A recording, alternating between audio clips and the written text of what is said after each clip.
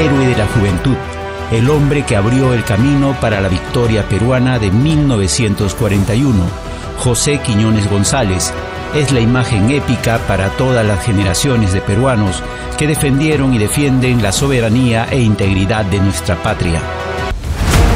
El capitán FAB, José Abelardo Quiñones González, nació el 22 de abril de 1914 en el distrito de Pimentel, apacible puerto en las costas de la provincia de Chiclayo, departamento de Lambayeque.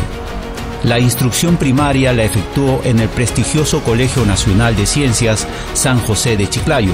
Su paso por este centro será definitivo para su vocación aérea, ya que el director promovía el vuelo en planeador en el norte del país.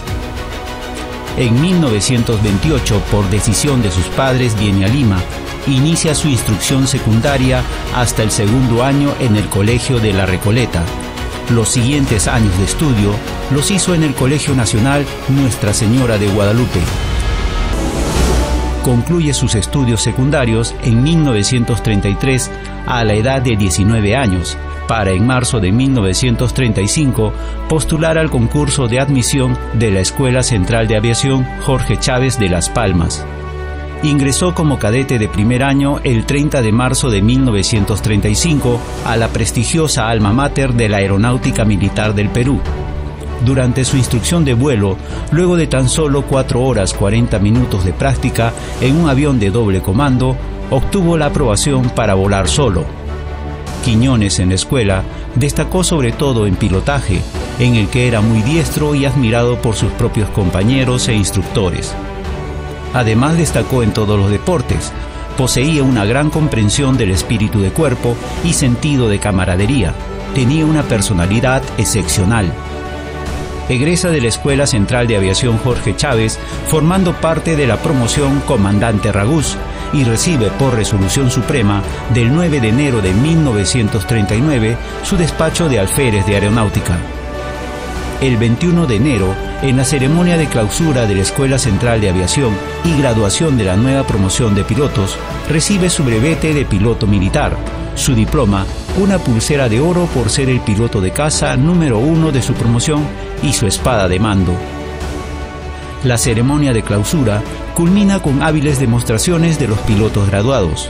Ese día Quiñones realiza un asombroso vuelo invertido a casi un metro del suelo, demostrando así lo privilegiado de su ser capaz de lo imposible. Fue destacado primero al escuadrón número 4 ubicado en la base aérea de hidroaviación de Ancón y poco después a la Escuela de Oficiales de Aeronáutica de Las Palmas. El 10 de julio de 1939 fue nombrado a la base aérea teniente coronel Pedro Ruiz Gallo en el Grupo Aéreo número 1 con sede en Chiclayo y asignado a la 41 Escuadrilla de Caza North American 50. Aquí, Quiñones perfeccionaría su técnica y táctica de combate. Todas las facetas de la vida de Quiñones estaban interrelacionadas con la convicción de servir a su patria y defenderla con su vida. Así lo expuso en un artículo que publicó en septiembre de 1939 en la revista Aviación, bajo el título Casa en Alerta.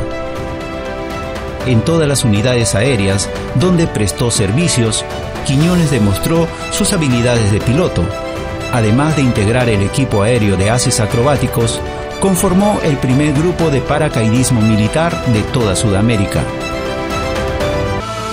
El 28 de enero de 1941, el alférez Quiñones sería ascendido al grado de teniente. Consciente de la situación de guerra que vivía el país, el 13 de julio, solicita, mediante una carta dirigida al jefe de Estado Mayor del Teatro de Operaciones del Norte, ser enviado a la zona de conflicto y recomienda al avión North American 50 como idóneo para realizar las misiones de ataque. La solicitud fue tomada en cuenta con opinión favorable. Los días 5 y 6 de julio de 1941, las tropas ecuatorianas invadieron las líneas divisorias del río Sarumía, capturando la isla Noblecillas, Matapalos y otras zonas al norte del Perú. Las Fuerzas Armadas del Agrupamiento del Norte, en acción conjunta, se dispusieron a repeler el ataque. la primera división ligera, en su orden de operaciones número 2 del 2 de julio, fija la misión de recuperar la frontera en maniobras apoyadas por la aviación sobre Quebrada Seca, que era el lugar de mayor concentración de la artillería enemiga. La noche del 22 y 23 de julio se lleva a cabo el ataque ecuatoriano contra el puesto peruano Lechugal y sobre la zona de Aguas Verdes y Huaquillas en Positos. El 23 de julio, conforme consta en los partes de misión y testimonios escritos, a las 7 y 50 horas, la Escuadrilla 41, perteneciente al 21 Escuadrón de Caza, despegó del campo de Tumbes para dar cumplimiento a lo dispuesto.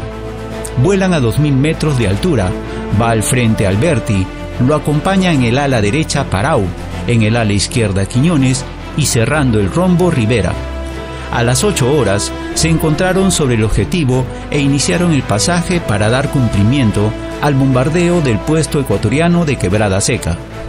Quiñones audaz desciende a 800 metros, divisa las baterías enemigas, se lanza tronadoramente para lanzar sus bombas, pero en esos instantes fue alcanzado por el fuego de la artillería enemiga. Habiendo cumplido con el bombardeo y pudiendo saltar de su aeronave en llamas, decide sin embargo dirigirla firme contra las baterías inexpugnables hasta barrerlas en un estallido final.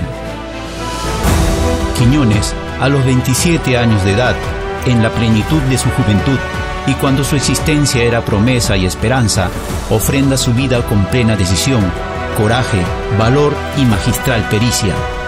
Capitán FAB, José Quiñones González, en tu natalicio, la Fuerza Aérea renueva su fidelidad a tu memoria y valor extraordinario como héroe de la juventud y general del aire del Perú victorioso cuando la patria más te necesitó.